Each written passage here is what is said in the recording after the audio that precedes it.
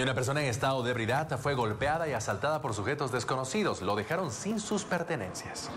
Un sujeto que se dirigía a su domicilio después de haber consumido bebidas alcohólicas en la Plaza Mayor de San Francisco fue asaltado y golpeado por antisociales que le robaron sus objetos de valor y se dieron a la fuga. En el lugar se ha constatado que una persona en estado de ebriedad posiblemente haya sido asaltado al mismo se le está evacuando a un nosocomio para su tratamiento correspondiente.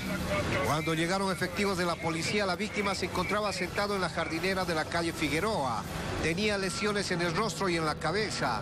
Después llegaron los paramédicos de bomberos, quienes lo hicieron reaccionar y le curaron la herida de su ceja. Y aparentemente tiene una escoriación en el arco ciliar, eh, en el ojo izquierdo.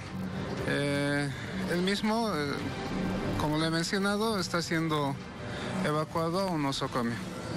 Se desconoce la identidad de la persona herida porque los delincuentes le robaron sus objetos personales. Los médicos de bomberos trasladaron al sujeto asaltado hasta la clínica más cercana.